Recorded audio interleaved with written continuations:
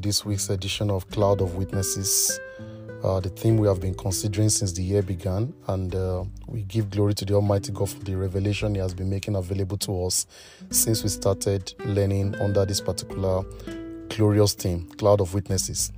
And we are still continuing. This week, we're going to continue to learn important faith and life lessons from the characters mentioned in Hebrews, Hebrews 11. Last week we spoke about the destroyer, and it's my prayer that all those things we learned about the destroyers we will not experience any in the mighty name of Jesus. Uh, so this week we're going to look at uh, two groups. So I'll call it characters plural. So the characters we'll be considering this week are the firstborn and the Egyptians.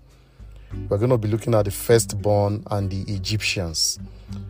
Let's take Hebrews 11 28 to 29 for that. Hebrews 11 28 to 29.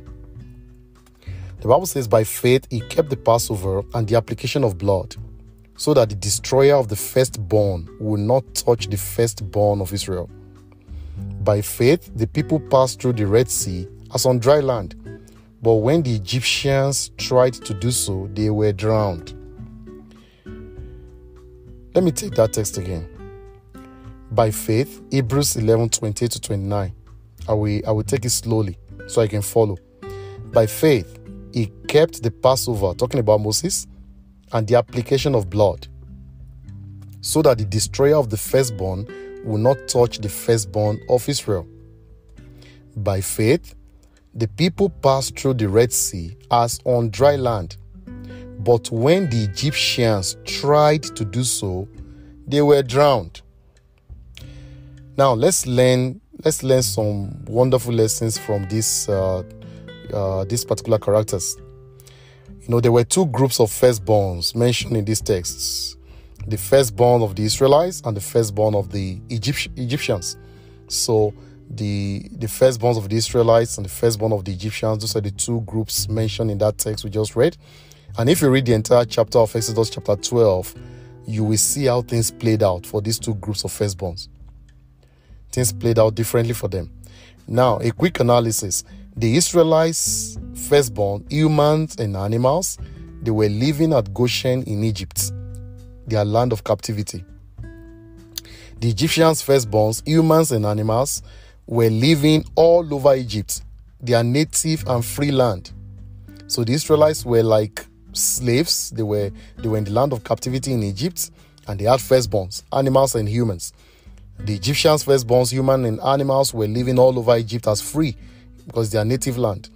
Now, the destroyer killed all the firstborns, humans and animals, of the Egyptians in one night. The destroyer did not touch any of the firstborns, human and animals, of the Israelites at all. You see, so the Egyptians experienced the ministry of the destroyer that we mentioned last week the Israelites were equally living in Egypt, but they were spared. The Israelites' firstborn were not touched. Humans and animals alike, they were not touched, and they were living in the same in the same place. All of them were firstborns, and all of them were living in the same country. So, what what then was the distinguishing factor? If all the firstborns were living in Egypt, and some firstborns died, some were not touched. What distinguished them? Because it was the same country, same country, same night. So, what was the distinguishing factor? What separated the firstborn of the Israel Israelites from the firstborn of the Egyptians? You want to know what it is? Very simple. It was the covenant side they were on.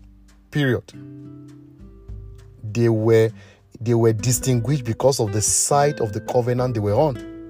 The Israelites were on the right side of God's covenant.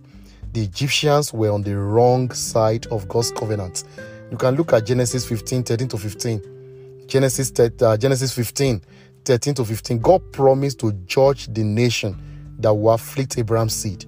You know, God told Abraham what was going to happen to his children. They were going to be, his, you know, uh, captives. They were going to be in the land of captivity. They will be afflicted. But God made a promise that the nation that will afflict the Israelites shall be judged. God promised to judge the nation that will afflict Abraham's seed. So the Egyptians had to be judged to establish God's integrity. There's no way they will not. There's no way they will not be judged because God keeps every promise He makes.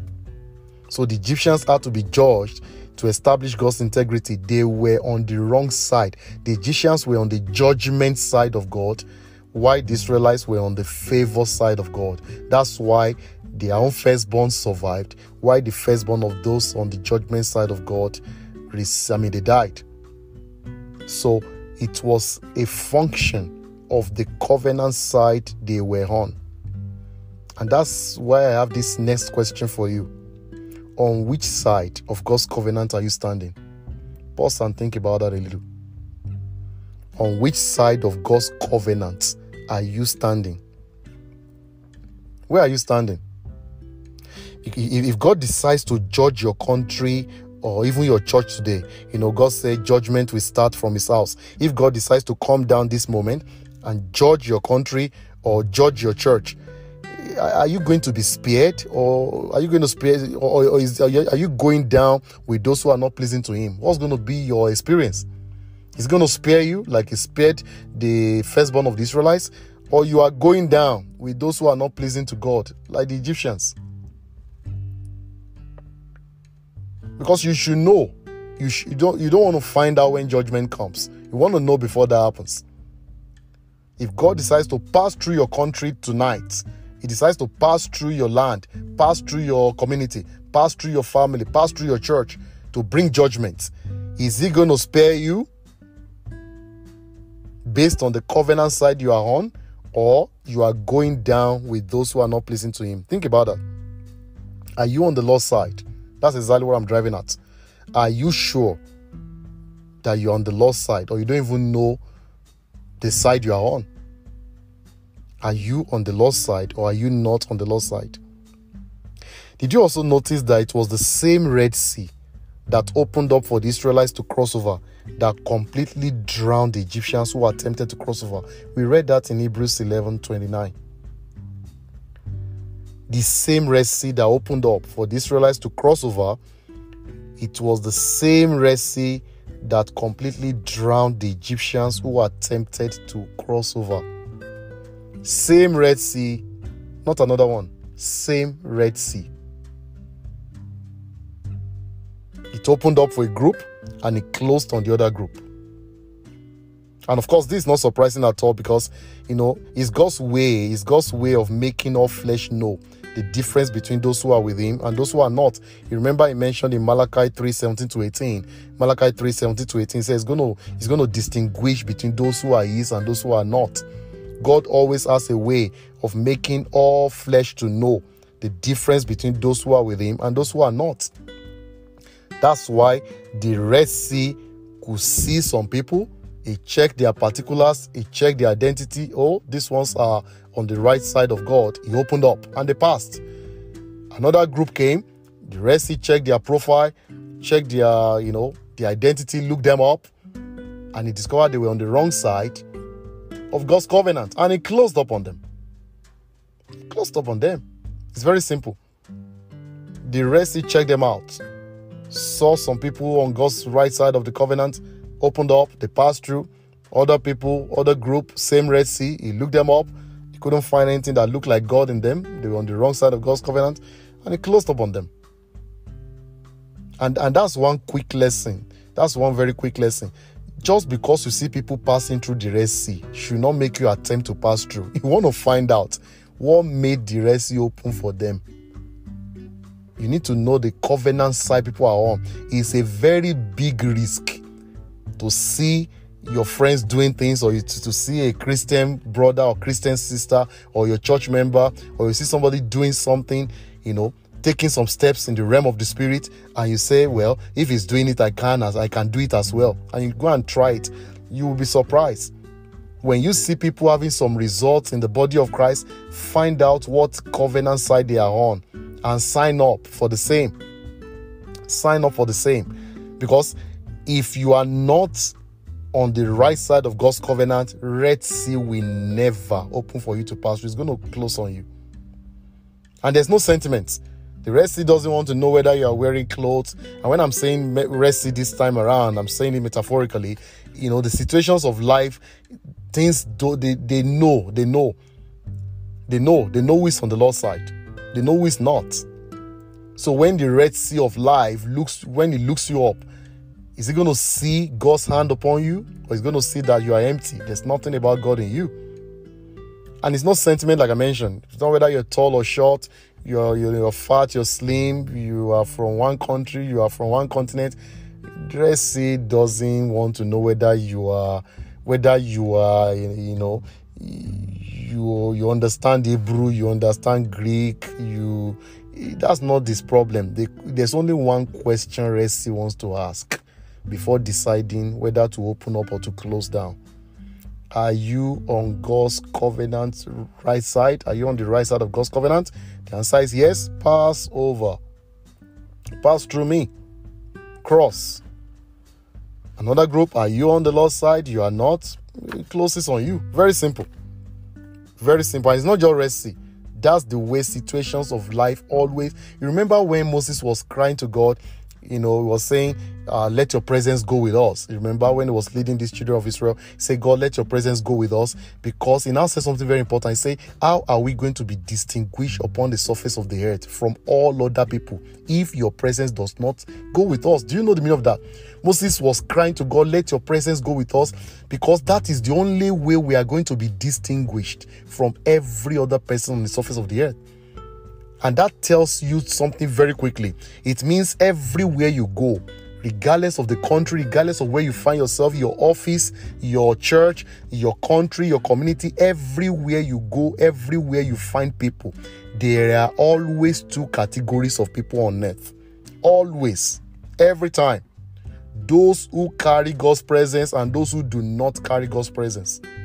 And that was why Moses was saying, please, we want people to distinguish us that we carry your presence. We want Red to be opening up. So please let your presence be with us. Keep us on the right side of your covenant.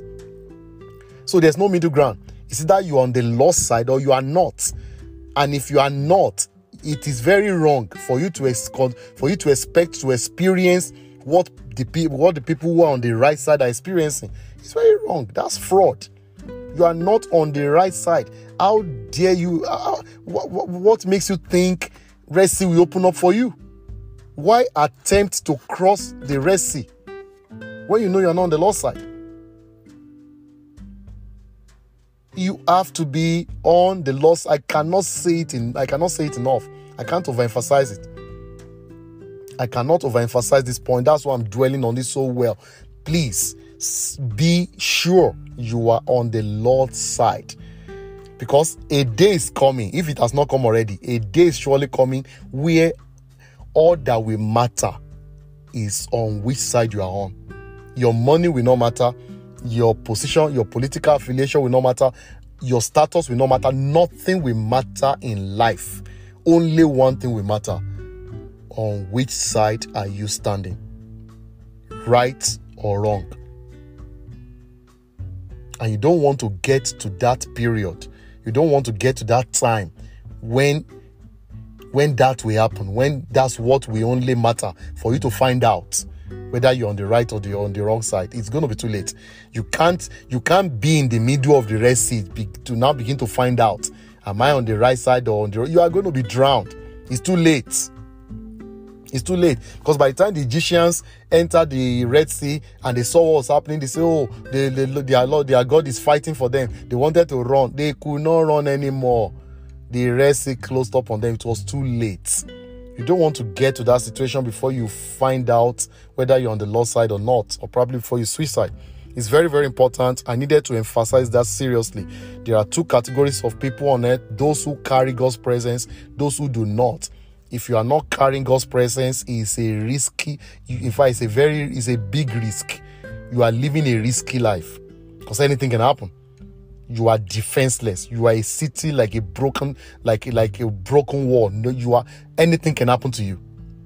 But when you're on the Lord's side, no matter what happens, the presence of the Lord will be with you, and that's your guarantee of victory. Hallelujah. It's very important. If you are living in sin, for instance, you know, to further drive home this point, if you are living in sin, for instance, it's obvious you are on the wrong side of God's covenant because Psalm 7, verse 11 to 13, Psalm 7, verse 11 to 13 says something very important. It says, God is angry with the wicked every day. God is angry with sinners every day. Every time you hear good money, God is angry with the wicked. And when he's angry with the wicked, how will the rest open for such, for such a person?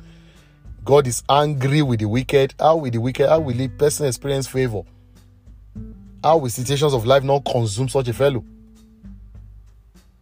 So living in sin qualifies you for the wrong side of God, the wrong side of God's covenant, which is the judgment side. And if you remember uh, what we learned last week, that is the side that activates the ministry of the destroyer, which I pray you will never be on. So if you are still living in sin, you need to switch. You will need to accept God's offer of salvation by surrendering your life to Jesus Christ so that you can cross over to the right side of his covenant. And that's the beautiful thing about this, this whole thing. You can cross. You can cross. There's no side that's permanent. There's no side that is permanent. You can cross from the wrong side of God's covenant and come to the right side of God's covenant, and you begin to enjoy what people on the right side are enjoying. And unfortunately, you can also cross from God's right hand, right side of covenant to the wrong side and suffer what those who are on the judgment side are suffering. I pray that will not be your portion because that's what happens when you backslide. When you stop following Jesus, when you stop following God, you have simply crossed from the right side to the wrong side. And whatever happens to those on the wrong side, you qualify for them as well. I pray that will not be your portion in the name of Jesus which is why you know anytime from now when i want to when i give you opportunity to surrender your life to jesus christ those who want to do that for the first time you're going to do it. And those who have backsliding you have gone back you have switched side you have crossed to the wrong side you need to come back to the right side. It's very very important. It's very very important. And as i close also note that pharaoh was the one who triggered god's anger but the whole nation paid for it. Take note of that Pharaoh was the one who triggered the anger of God. But when God's judgment landed, the whole nation of Egypt paid for it. It was not only Pharaoh's firstborn who died, all, all, ALL, all the firstborn of the Egyptians, from the highest to the lowest, from the richest to the poorest, including firstborn of animals, they all died and it was Pharaoh who sinned. It was Pharaoh who activated the anger of God, but the entire land of Egypt paid for it. What does that tell you straight away? Pray for your leaders. Pray for your leaders. Because when judgment comes, those who didn't buy may be made to pay as well. They may be made to pay as well. Pray, please. Pray. Pray for your prime ministers, pray for your presidents, pray for your senators, Pray for your, you know, your husbands, you know, family leaders. Pray for your head of family. Pray for all your leaders. Pray. Pray for all your leaders in church, in the secular, sec, uh, secular world, wherever. Those the Lord has placed as leaders in your country, wherever you are, pray for your leaders because if they take a wrong step and they activate God's anger, when the destroyer lands, when God's judgment begins to burn, it may burn beyond your leader's house, it may burn beyond your leader's life. An entire nation may be made to pay for the sin of a leader. It's very possible. The Bible says, He who is greedy of gain troubleth his own household. Just think about that. A man is greedy of gain. You are greedy and the Bible says your entire household will suffer trouble. Your household will suffer trouble. Who is greedy? The man, the head of the family is greedy. Who is paying? The household. You see? So your your your your father or probably your husband is a gambler, your husband is a wicked person, you just say, Well, that's his life. It's not his life. Pray. Pray. Because when judgment comes, you will partake either directly or indirectly. You will partake. Even if nothing happens to you, if God strikes that particular man, if God strikes this leader or God strikes, maybe God forbid, you know, the head of the family, there will no longer be peace in that family. If the if the person is the breadwinner, what do you think is going to happen to the members of the family? Even if he's not the breadwinner, something happens to him, probably God's judgment lands. You begin to carry him about prayer, you know, prayer houses. You begin to take him to uh, take him to hospitals, whatever. Just running skater. You have also lost your peace. You can't rest. That's pain. You are paying. You are not sick, but you are the one carrying him about. You are equally paying. You see what I'm talking about? So you want peace, you want rest, then pray for your head. Pray for your leaders, wives, pray for your husbands. Members, pray for your pastors. If the devil captures your pastor and he begins to dish out demonic doctrines from the pulpit, the whole church is in trouble. The, the whole church is in trouble. So please pray. Pray for your leaders. Pray for your leaders. I pray as you continue to do this, as you begin to pray for your leaders, the Lord will answer your prayers and the Lord will help you to continue to pray for these leaders. It's very important. The Lord will help you. And if you're a leader listening to me, you will not take wrong steps. The Lord will keep your steps. The Lord will keep you from taking wrong steps in the mighty name of Jesus. That's the word of the Lord for us for this week. It's very, very important. Uh, we've learned concerning the firstborn and Egyptians the most important thing I want you to take away from this episode is find out on which side of God's covenant are you standing. If it's the right, praise God, remain there. Don't shift. If it's the wrong side, cross right away before judgment comes. And also learn to pray for your leaders. If you want to surrender your life to Jesus Christ, this will be the moment to do so. And it's also an opportunity to cross over from the wrong side of God's covenant to his right side. So if you want to do that, you're going to say this prayer now. Say it after me. Say, Lord Jesus. Say, Lord Jesus, I want to be on the right side of your covenant. I want to be on the right side of your covenant. I forsake my sinful ways. I forsake my sinful ways and accept you as my Lord and Savior today. Amen. Let me pray with you. Heavenly Father, thank you once again for your word. We give you glory, honor, and adoration for what you have taught us this week. Thank you so much for the revelation of your word. Lord, be exalted in the name of Jesus. Lord, we just want to remain. For those of us who are already on your right side, we want to remain on the right side of your covenant. Father, please keep us there, establish us there in the name of Jesus. Let nothing take us away from the right side of your covenant in the name of Jesus. For your children who have been on the wrong side, who have decided to cross this moment, Lord, please cross them over to the right side and keep them established there as well in the name of Jesus. Pray for all our leaders. Anything they will do that will bring your wrath against us, Lord Almighty, please don't let them do it. Keep them from errors. Keep them from inviting your judgments in the mighty name of Jesus. Lord, I pray for those who have surrendered their life to Jesus Christ this moment. Accept them in the beloved, write their names in the book of life. And beginning from now, when they call upon your name, answer speedily. Thank you, Father, for answering our prayers. Return all the glory to you. In Jesus' mighty and unfailing name, we have prayed. Amen.